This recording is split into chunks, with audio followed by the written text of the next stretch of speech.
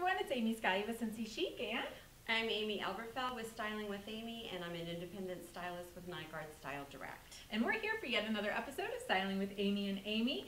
And this is all centered around a 13-piece must-have travel capsule that we talked about in a previous episode.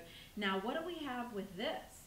We in the last couple episodes we've talked about um, substitutions. So in our original, if you go back a few weeks to our original travel capsule, our bottoms consisted of two capris, a white and a black capri from Nygard. And we also had a black t-shirt dress that was not Nygard that I picked up at a department store. So there may be some people that I never wear capris, I'm not a mm-hmm. fan of capris, or one other, some other pieces that we had in there were camis. Some people may not like the look of camis. So we're gonna give you some substitutions here. So any black and white bottom can be substituted for the black and white capri from Nygard. So you can think about a skirt, you can think about a short, a skirt, jeans, black and white jeans.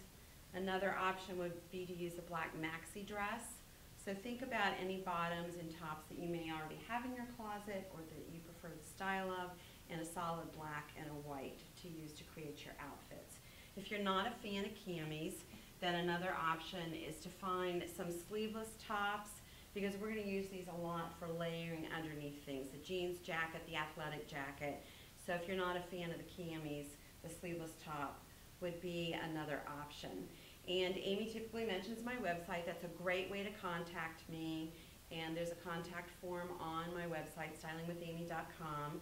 And you can send me a message. And if you're a fan of my Facebook page, Styling with Amy, you can see my upcoming open houses, open boutiques, and events. Oh, it's so fun. So you can see this stuff in person Yes. and get even more tips and great information from her. And that website is stylingwithamy.com.